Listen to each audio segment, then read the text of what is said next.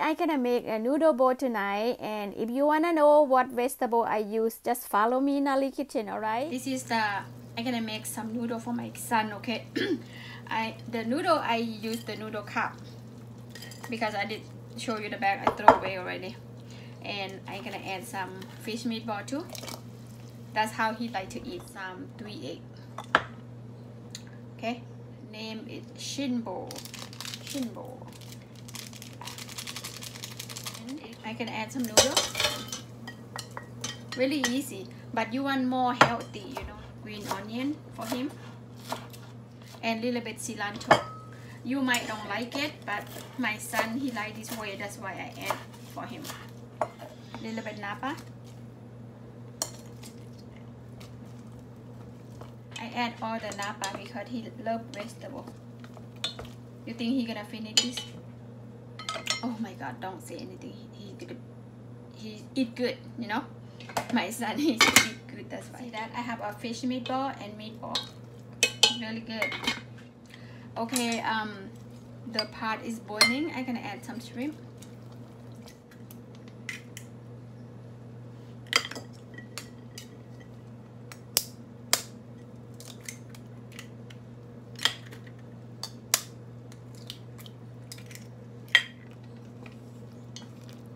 And I'm gonna mix a little bit.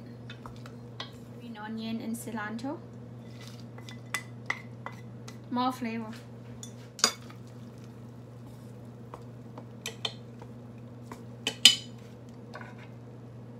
Cover a little bit. Start boiling now. I'm ready to take it out. Turn off the heat.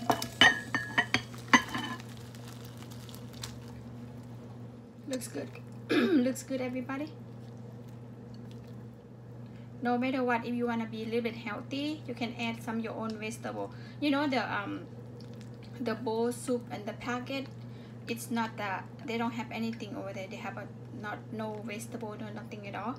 But you have to do everything by yourself see?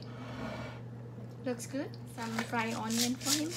That's how he likes. See that? Um, if you have a package or you know and and a bowl you know can you can add all the ingredient for yourself the all the vegetable meat meatball whatever shrimp you like to add. But it's healthy but it's not healthy like you do by your own you know. You have to have some idea to add some good stuff you know. All right guys this is really easy and really simple for my boy to eat tonight. And please follow Naly Kitchen like and subscribe for me See you next video guys. Bye bye.